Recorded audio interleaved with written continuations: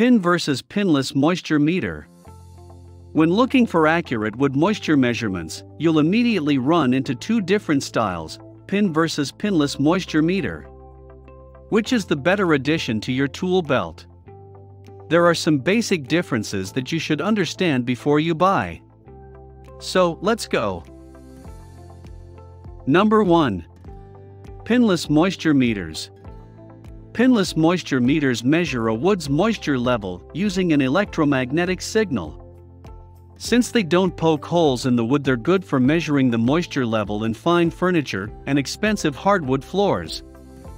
Number 2. Pin moisture meters. Pin moisture meters determine a wood's moisture content by measuring the resistance encountered by an electrical current running between a couple of small pins that are inserted into the wood. This method works because water conducts electricity and wood doesn't. The drier the wood, the more resistance to the electrical current. Because pin moisture meters are sensitive to variations in wood temperature, a high quality meter should come with correction charts or have a method to adjust the readings for wood temperature. Number 3. How does a pinless moisture meter work? Pinless moisture meters work via an electromagnetic sensor pad that comes into contact with the wood surface, but does not physically break or damage the surface to take a reading. Pinless moisture meters can measure moisture content from the surface down to 0.25 inches, or, for deep measurements, from 0.75 inches to 1.5 inches. Number 4. How does a pin moisture meter work? Pin-type moisture meters have two metal probes that must physically penetrate the wood's surface in order to take a moisture reading. When the meter is turned on an electrical current flows from pin to pin and measures the resistance.